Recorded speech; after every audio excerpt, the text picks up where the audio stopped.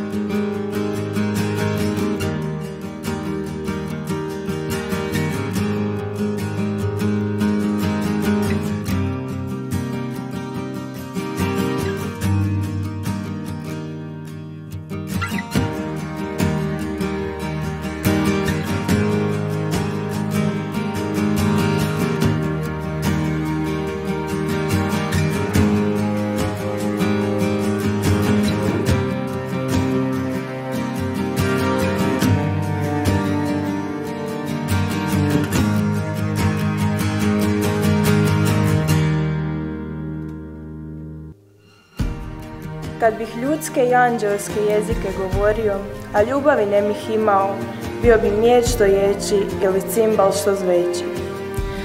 Kad bih imao dar proricanja i znao sve tajne i sve znanje, kad bih imao puninu vjere, tako da bih brda premještao, a ljubavi ne bih imao, bio bih ništa. Kad bih na hranu siromasima razdijelio sve svoje imanje, kad bih tijelo svoje predao da se sažeže, a ljubavi ne bih imao, ništa mi ne bi koristilo.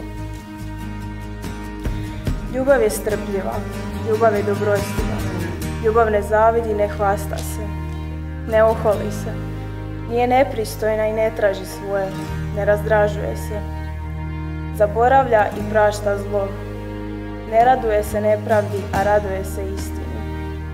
Sve ispričava, sve vjeruje, sve mu se nada i sve podnosi. Ljubav nigda ne prestaje.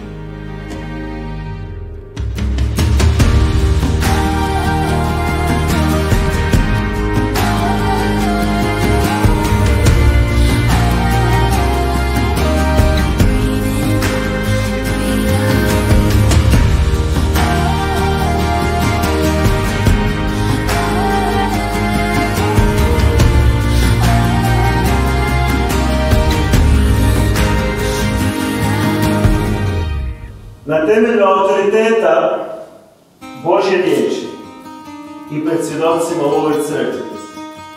Ja vas vežem u neraskidivo jedinstvo bračne ljubavi i proglašavam vas mužem i ženom u ime Oca i Sina i Duha Svetoga.